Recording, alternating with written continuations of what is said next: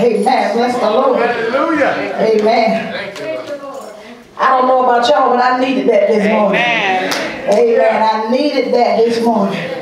Hallelujah. We bless God for Jesus on today. We thank Him for allowing us another opportunity to see a day that we've never seen before. Anybody glad about it on today? Amen. That He spared your life and you're here, amen, and you're in your right mind. You had the activities of your limbs, amen. And the old saints used to say a reasonable proportion of health and strength. Yes. Amen. Enough to make it on today, amen. Amen. So I thank God for being here on today. We don't want to prolong the service on today. Uh, the hour has been well spent, but right now we're going to have our scripture by Minister Morris, and short, and after that we'll have our welcome by I call him Little Bishop. Amen. He knows who he is. Praise the Lord. He's going to carry on this legacy. Praise the Lord. The prophecy came forth. Praise the Lord. Amen. Amen. Okay, now them some big shoes to fill, little bishop. Amen. And we're going to lead you into your calling. Amen. Let, let me, let me tell you something. You know, when God has shown you something about your children, and this is just a nugget, okay? I'm going to give this to you. They ain't got no sense. Y'all understand what I'm saying? I- I'm just going to be blunt about it. They don't have no sense because when you was that age, you didn't have no sense. So what you got to do is you got to usher them in. You know when the usher comes with to usher you in, she ushers you to your seat because she know you ain't got sense enough to move down to the end of the aisle. So she pretty much ushers you to your seat. Well, what we have to do is we have to usher our children. Into what God will have them to do. And when there is a call and an anointing on their life, you can't let them play with everybody. You can't let them go to everybody's house. You can't let them participate in everything and let people say what they want to say about you being strict. Oh, because guess what? That's yours that you got to raise. The Bible says that if you train up the child in the way it should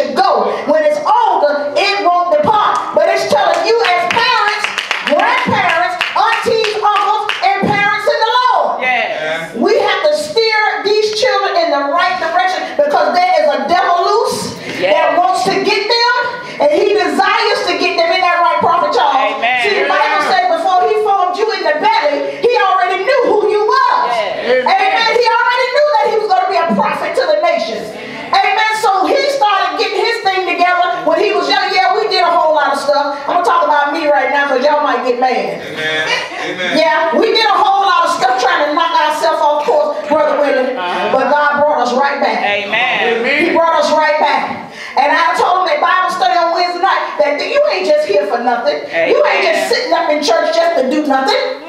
God has a call on your life, whether it's the kitchen ministry, whether it's the yard ministry, whatever it is, God has a calling on your life. Amen. And whatever it is you do, you do it to the best of your ability. And then you allow God to come in. You allow God to come in and put his spirit of excellence on it. Amen. And you will be the best that you can be. Amen. Amen. I look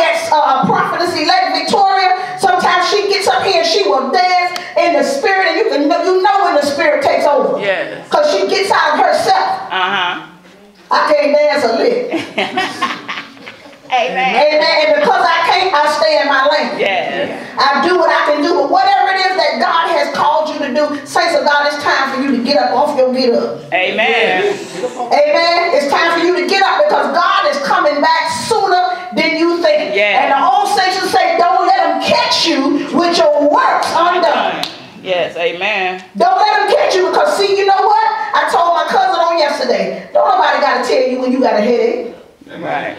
You the first person that know. Yes. You hear what I'm saying? Amen. When you got a soul ache, you the first person that know. Yeah. When God calls you, you the first person that know because you heard him. Yes. You know. And I told him, I said, one Community Church, you will not be, you will not be stifled. Stifled. Amen. Amen. You will not be here with a gift and sit on it. Amen. You hear what I'm telling you? You can be used. This is a place I told you where you can belong and a place where God wants you. We want you to intentionally grow. Yes. To grow in grace, grow in the Lord. Don't come here and think you just gonna sit down. Because that's not gonna happen. You're wrong. This is not the place where you sit down. Amen. Amen.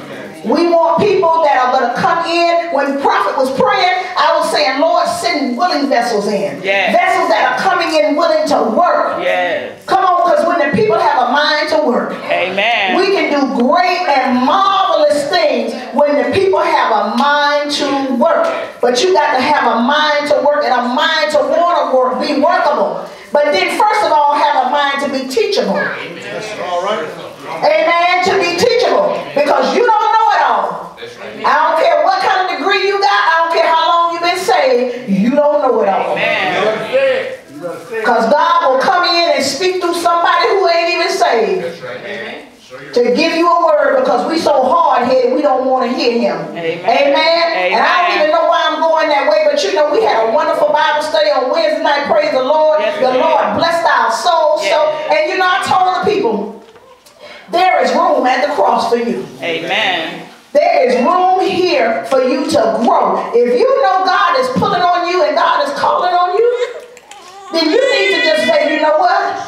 I feel the calling. I feel the presence of God speaking to me to tell me, Apostle won't tell you God didn't tell you to do that. Now, some places they'll tell you, well, God ain't told you that because he ain't told me first. That's right. That's right. You better talk. Come on now, because some of them folk will tell you what God told you. Amen. Huh? And the old folks, you say, you don't know what he told me, you wasn't there.